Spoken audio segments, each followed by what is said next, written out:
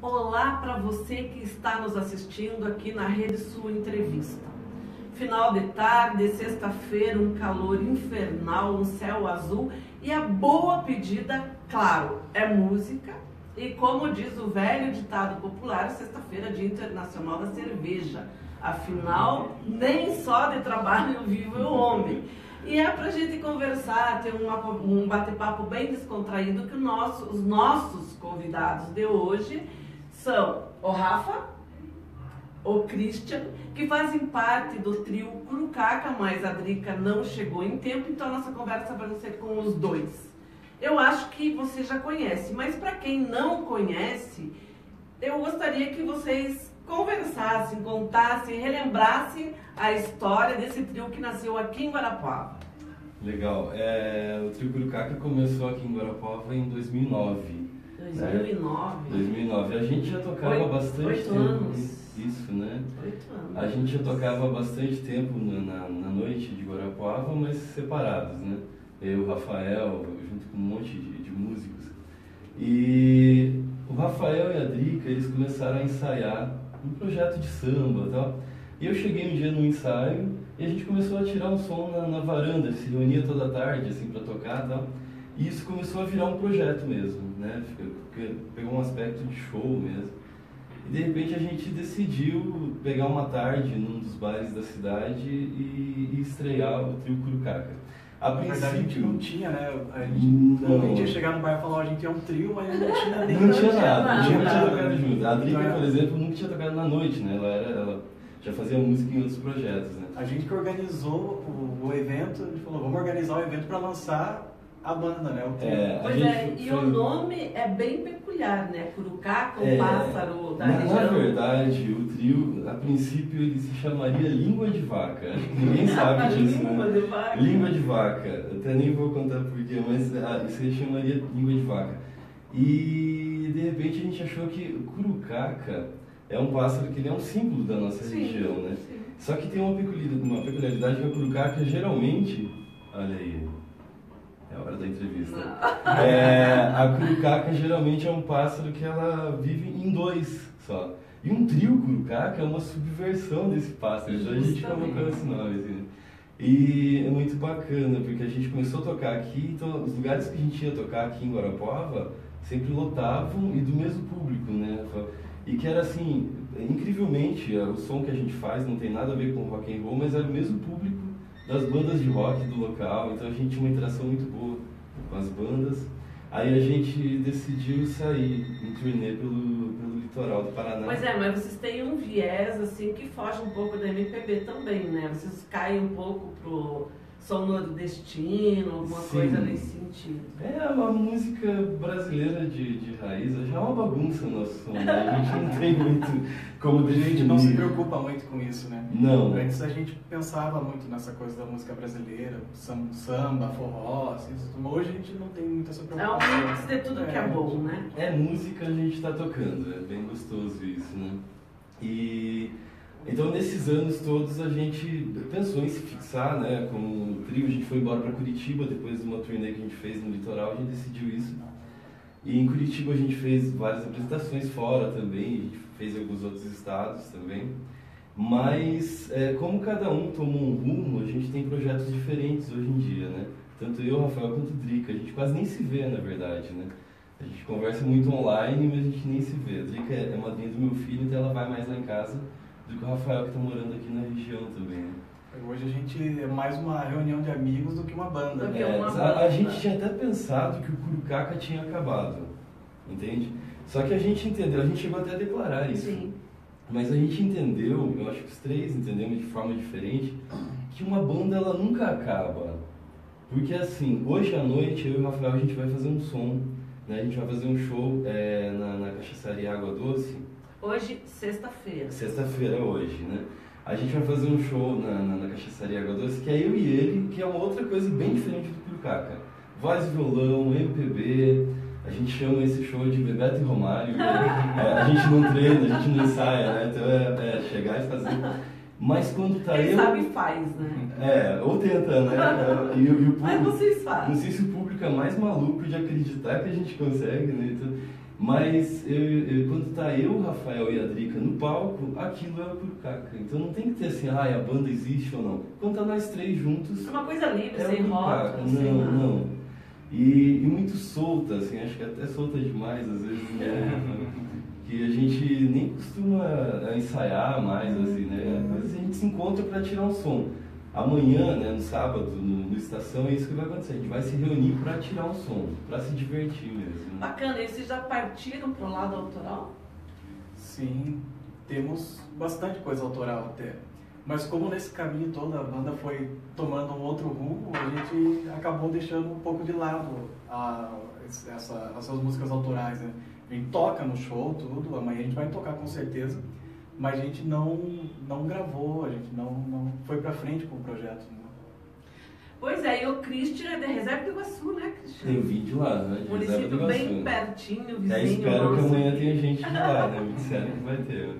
Tomara, que faz muito tempo eu não vou pra lá, né? Na verdade, eu nasci lá também. Você é, ele, ele é de lá. Nossa, é, isso aí pra é, mim é novidade. Na verdade, lá. ele é Meu pai lá. trabalhava na Copel. Ah. E quando eu nasci, meus pais moravam lá na Vila da Copel, ali na, na Vila do Segredo.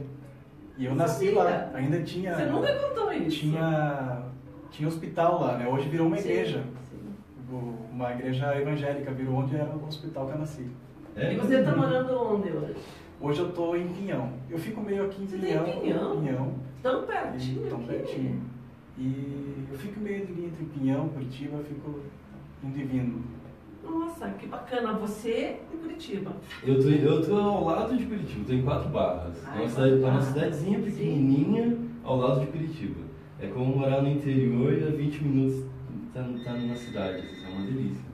Lá, Filhos! Filhos, cachorro, casa, quintal, horta. Sosseguei mesmo. E você, Rafa? Eu. Continua solteiro. Sempre. Eu pergunto isso porque vocês fizeram muito sucesso na noite em Guarapava, né? Sim. E eu sei que você era bem requisitado. Não, que isso. É. é. Eu tô solteiro. Sempre solteiro, trabalhando. Mas eu, eu, eu, eu, que sempre voltava para casa com ele depois do show, então é. não adiantava. Não adiantava. Nosso caso é mais forte. E aí, como que estão projetos futuros? Pensam em estar mais presente em Guarapuava? A como gente é tem uma ideia de um projeto aqui em Guarapuava com uma banda de amigos nossos aqui, nem sei se pode falar isso, Pesão. Ah, acho que dá, acho né? Que dá, a gente então, sempre é. tá, a gente tem uma, uma relação forte com o King Argulas, né? Hum. E a gente sempre, já faz anos que a gente tá com esse projeto de fazer de novo o da Roça Praia, que a gente já fez aqui. E foi bem legal, que foram as duas bandas tocando juntas, né? E a gente tem esse projeto de fazer de novo isso aqui. Mas como nunca tem agenda das, dos, uhum. dos dois trabalhos, ter uma banda já é difícil. Mas a ideia é esse ano a gente ainda fazer antes do fim do ano, a gente ainda fazer alguma coisa com eles. Pois é, Cristiano, você também teve uma inserção no teatro, né? Sim, sim. Eu lembro perfeitamente da peça que era você, o Alex Quá e o Márcio. Vamos lembrar um, os caboclos, gente. Quem assistiu Foi sabe do que eu loucura. estou falando, né? Quem não assistiu perdeu. Vamos relembrar um pouquinho dessa é, história? É, o, o teatro surgiu na minha vida de uma forma bem peculiar, assim, porque eu sempre trabalhei com teatro, mas eh, envolvido com a música e com cenografia, coisas assim.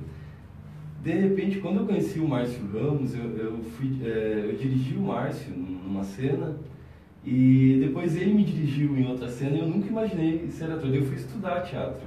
Né? Daí a gente começou a, a, a trabalhar mesmo. Só que para mim a arte sempre foi uma coisa muito técnica. É, a emoção era o estalo e o resto era técnica, não tinha essa coisa até quando tinha apresentações do Kundum, por uhum. exemplo, né, eu achava encantador, porque era, era o contrário disso. Né? E, de uhum. repente, quando a gente resolveu montar os caboclos, a gente revisitou uhum. os nossos ancestrais. Eu achava que eu era um ser totalmente urbano e fui descobrir que não, que eu sou neto de violeiro de São Gonçalo, Olha, que eu sou caboclo, total, né? Tanto é que depois, depois disso me aceitei como um caipira, sabe? Eu acho que eu sou muito caipira, sabe? Então, é, quando a gente fez os caboclos, a gente visitou os nossos ancestrais, a gente visitou locais aqui perto, a gente tinha festejos de São Sebastião, de São Gonçalo, né? São festejos que são feitos é, escondidos até da igreja. Sim, sim. O padre não pode saber o que está acontecendo, é incrível. Não há uma aceitação. E a gente montou os caboclos assim, pensando nesses festejos e, e também numa outra questão assim, que a gente buscou nos nossos ancestrais, que era a, a, a violência que era muito comum, a violência doméstica. Era muito comum, assim, as mulheres apanharem de maridos chegavam bêbados em casa e esses maridos eram nossos avós. É, era questão do, do machismo mesmo, Sim, né? e a gente visitou isso para quebrar isso, essa carga que a gente trazia, sabe? E daí surgiu os Caboclos, que era uma peça totalmente maluca, que a, a, público sentava no palco, aquilo era cheio de fumaça, uhum. é, tinha cachaça no palco, tinha muita música, muito som som de milho na peneira, coisas muito uhum. peculiares, assim. Um texto que a gente mesmo escreveu com, com base na entrevista que a minha avó me deu. Então, é, foi muito lindo um trabalho que a gente Tem uma música que a gente toca com o Curucaca que saiu desse espetáculo. Sim, até. sim, é verdade. Chama Violeiro a música. Que é, é, é um texto do espetáculo que a gente musicou. Né? E vocês não pensam em brindar o público com um retorno, um reencontro entre você, o Márcio e o pai, de repente. conversa. É, de repente recuperar isso aí, porque a peça é maravilhosa. Acho que é. a gente, Guarapava está mudando, graças a Deus, nessa área cultural, né? A gente já está tendo um público novo que gosta né, dessas inovações hum. e tudo mais. É, e o público mesmo formado, assim, né? Com uma visão para o teatro. Vocês não uhum. pensam, de repente? Olha, o, o Alex Qua chegou a cogitar isso. Ano passado eu vim ficar na casa dele, ele comentou da uhum. gente fazer, eu gostei muito, sabe? O problema é esse desencontro, né? Tipo, eu moro perto do Márcio, o Márcio mora lá também, mas a gente quase não se vê. O problema é a gente se reunir. Mas eu acredito que uma reunião muito rápida a gente remontaria, Com né? Certeza. Quem sabe, quem sabe agora você falando também seja um, um incentivo, né? Com certeza, gente. eu acho que Guarapuava e esse público que está aí, uma ânsia muito grande por cultura, por, né, por cultura uhum. cabocla mesmo, que é a nossa raiz aí, né? Uhum. Sem desmerecer as outras áreas, cultura uhum. é cultura em todos os sentidos. Eu não sei, né? você que está aqui, Cris, mora em Guarapuava, você deve perceber mais do que a gente ainda mas é, Guarapuava formou público. Sim, a gente Coisa sabe. que quando a gente Sim. começou a trabalhar aqui, eh, quase não existia. Né? Existia público. São sete anos, né? Existia, então as crianças já são adolescentes, é... os adolescentes da época já são adultos. E eles vieram com uma nova bagagem cultural. A, a, né? As pessoas não tinham onde encontrar o que queriam ver. Sim.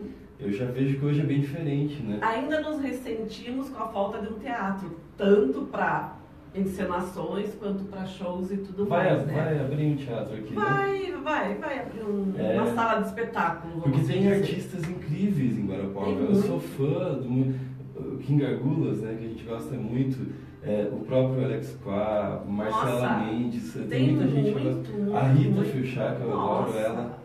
E, e, e a nossa gente, periferia está borbulhando de cultura, aquela cultura popular mesmo, né? Sim, que não sim. sai, não vem centro por falta de uma provocação, por sim, falta é né, de um espaço e tudo mais. E, e mesmo assim o povo ainda consegue. Porque eu tenho acompanhado o trabalho do Fernando Zumba também, que, pô, o cara é incrível, o som dele é incrível. É... O clipe que ele lançou. E ele tá, ele tá, ele tá conseguindo coisa. uma divulgação que eu entendo que ele tira do zero, Sim. se reinventa a cada vez, porque o Fernando há muito tempo. Eu lembro dele em 2005, 2006, eu vendo o show dele, sabe? Então, Guarapuava é uma cidade incrível, borbulha, muita gente aqui, muita criatividade. E agora, como eu falei para você, eu percebo a formação de um público. Sim. Sabe? Isso é muito bacana. E é o público que eu espero que esteja amanhã lá com a gente. Com certeza, e é um público que está ávido por coisas boas, né? Sim, com certeza, com certeza.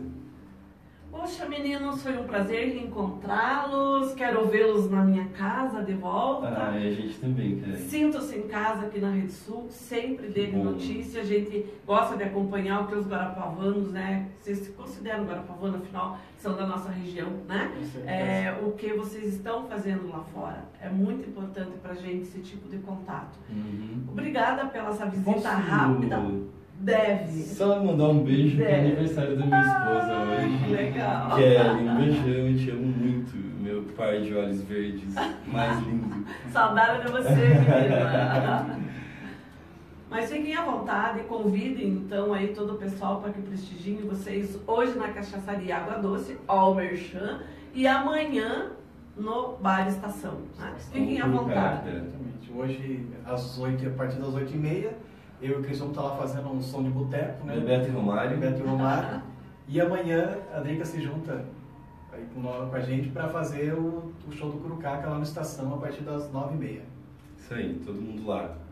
Olha, além dos meninos do Curucaca, a gente tem também uma, uma programação bem diversificada nesse final de semana. Não só em Guarapuava, como na região. Em Ponta Grossa, que comemora 194 anos, nós temos show, inclusive com Edson e o Hudson no domingo.